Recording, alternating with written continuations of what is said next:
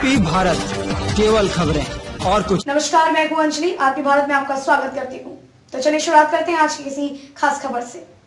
मशरक प्रखंड के बरौली पंचायत के युवक की कोरोना काल के दौरान दूसरे राज्य से घर मोटरसाइकिल से वापस आने के दौरान सड़क दुर्घटना में मृत के परिजनों को आपदा प्रबंधन विभाग की तरफ़ से चार लाख का चेक मुखिया अजीत सिंह के द्वारा सीओ ललित कुमार सिंह से दिलवाया गया। मामला है कि 6 मई 2020 को कोरोना महामारी होने के कारण लॉकडाउन में दिल्ली से अपने पैतृक गाँव बहरौली मोटरसाइकिल से आ रहे हरिकिशोर भगत पिता नौरंगी भगत का उत्तर प्रदेश के कन्नौज जिला में सड़क दुर्घटना में मौत हो गई थी, जिसमें बिहार सरकार के आपदा प्रबंधन विभाग की तरफ़ से नियम अनुसार सरकारी मुआवजा देना था।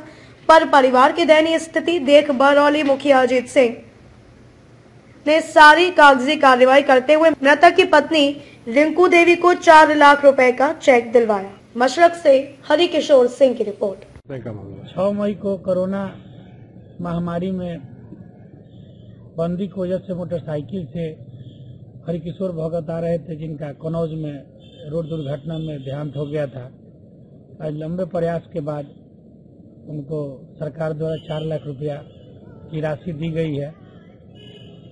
उनके परिजन को दी गई। उनके परिवार रिंकू देवी को दी गई है। कौन सा गाँव था? बहरौली। दमदार निर्माण का भरोसा लाल स्टील टीएमटी बार्स। हर निर्माण के लिए उपयोग लाल स्टील टीएमटी बार्स। रिश्ता मजबूती का।